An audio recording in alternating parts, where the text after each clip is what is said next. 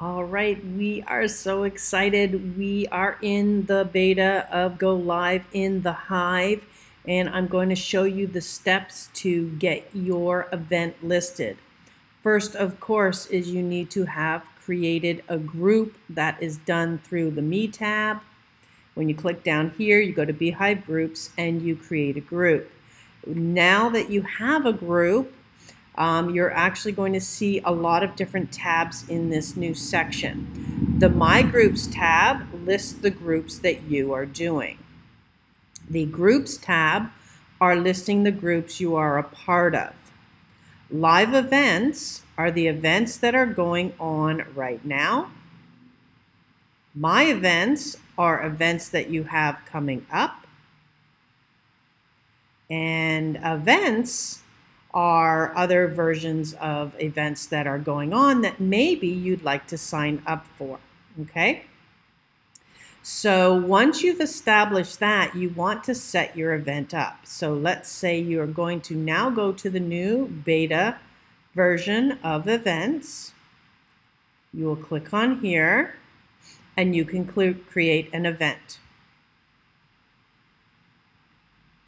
And so you'll need your event title.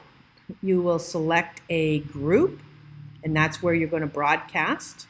So let's say I want to do something to Konnections to Freedom.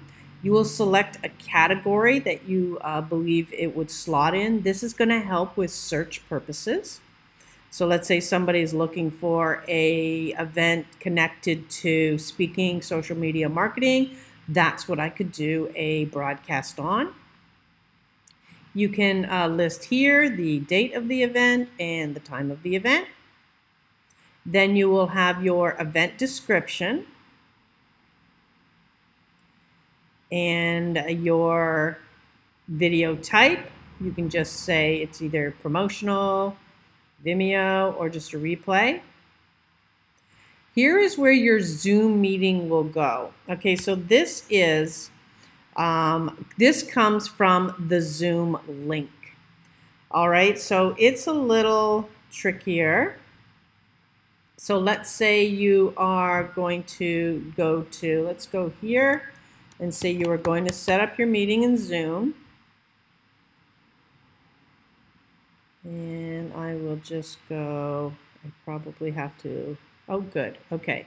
So let's say I'm doing the uh, broadcasting tomorrow.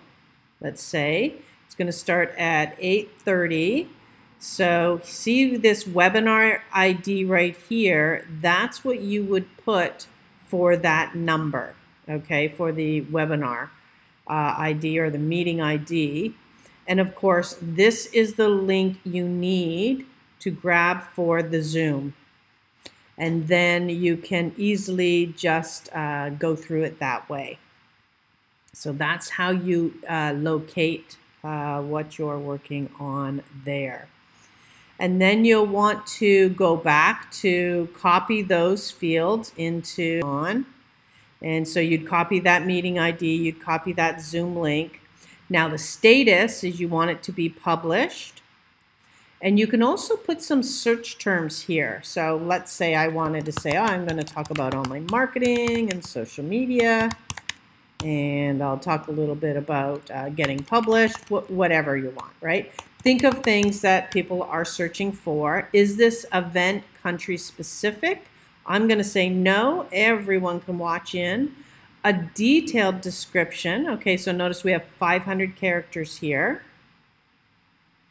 And then you will have your start and end date.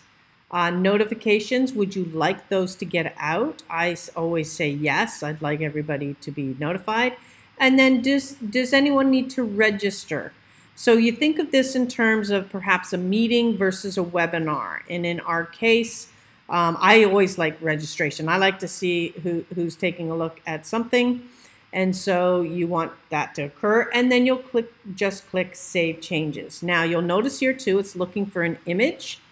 Um, so you can just uh, create an image as well, put something nice and simple there, um, and then upload it, okay?